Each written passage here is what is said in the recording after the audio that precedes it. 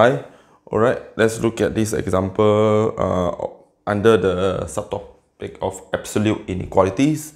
So you have modulus x squared plus 2x minus 4 uh, less or equal 4. So then at the same thing, I, am going to write for you the basic definition. Every time when I start doing this type of question, I will rewrite the formula.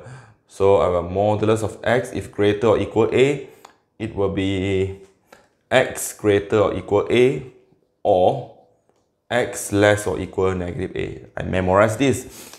Okay, if there is a less than,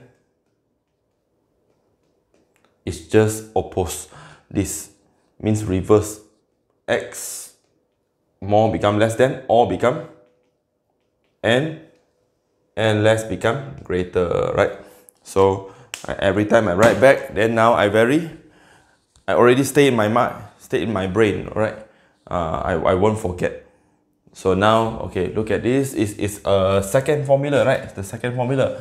So you have x to the power of 2 plus 2x minus 4 less or equals less or equals 4 and uh, using n x greater or equal negative a. This is your a, this is your x. So x less or equal a and x square plus 2x negative 4 greater or equal negative 4, right? Negative 4.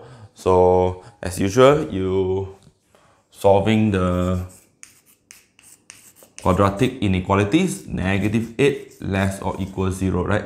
Negative 8. So you factorize and you have x x 4 and 2 right? So you have positive negative you have negative 8 right? So positive 4 plus minus 2 4 minus 2 you have 2 right? So uh, quadratic inequalities when you see quadratic inequalities you're using graphical approach will be faster. So uh, you have 2 you have negative 4 okay I uh, put a solid circle here to tell me that to remind me that we include the value of negative 4 and 2 right? So less means that is the curve below the x-axis. So give you the result of x uh, between 2 and negative 4 for this case. Okay let's look at the other case. So we have uh, x squared plus 2x negative 4 plus 4 uh, you have 0 right? You have 0 negative 4 plus 4 you have uh, 0 so then this one as usual you factorize factorize x x plus 2 is still the same it's a quadratic. So we draw a curve.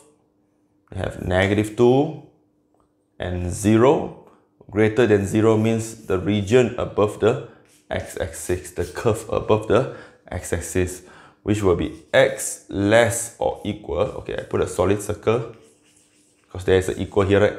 So negative 2 or x greater or equal 0, right? Uh, so this will be the solution for this case. So these cases and these cases going to combine by this operation here and is intersection or is union, right? Okay, so now I draw a number line to summarize my solution. So I have four number, I have negative 4, the smallest, and negative 4, followed by negative 2, 0, and 2, right? 0 and 2. So now for this, I will put on the same level is between negative 4, a solid circle between negative 4 and 2.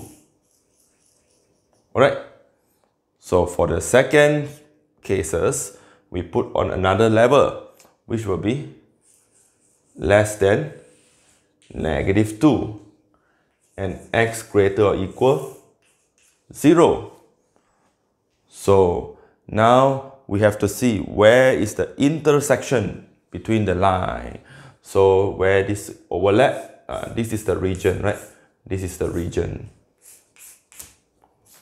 This is a region. So I'm going to conclude my answer, which is x can accept the value between negative 4 and negative 2 or this region is between 0 and 2 right uh, if you if, if you want to write in interval form then you will write in negative 4 up to 2 include union 0 up to 2 so that's the solution for this problem.